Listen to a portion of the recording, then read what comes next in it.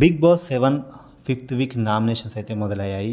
ఈరోజు ఈ week nominations అయితే చాలా ఇంట్రెస్టింగ్గా ఉండబోతున్నాయి అనమాట మెయిన్గా చెప్పాలంటే ఇందులో శివాజీ వర్సెస్ హౌస్ మేట్స్ అంటే especially Amardeep and Priyanka. So వీళ్ళ ముగ్గురులో అయితే మాత్రం చాలా హీట్ మూమెంట్ అయితే జరగబోతుంది. అంటే ఒక వార్ అయితే జరగబోతుంది. సో నిన్న హౌస్ మేట్స్ అన్డిజర్వ్ క్యాండిడేట్లో శివాజీ గారిని అయితే అందరూ హౌస్ మేట్స్ అందరూ కూడా నామినేట్ చేయడం జరిగింది. సో శివాజీ గారు అయితే నాకు తెలిసి అన్డిజర్వ్ క్యాండిడేట్ అయితే నాకైతే అనిపించట్లేదు. సో అందరూ కలిసి టార్గెట్ చేసినట్టుగా అనిపిస్తుంది. సో ఈరోజు నామినేషన్లో ఈ టాపిక్ మీదనే చాలా హీట్ అయితే ఉండబోతుంది అనమాట అయితే ఈ వీక్ ఎవరు ఎలిమినేట్ అవ్వాలనుకుంటున్నారో కింద అయితే ఖచ్చితంగా కామెంట్ చేయండి. అండ్ దీంతో పాటు సో నాగార్జున గారు ఆల్రెడీ చెప్పారు ఏ రోజు ఏ క్షణం ఏదైనా జరగవచ్చు ఇది ఉల్టా పుల్టా అని.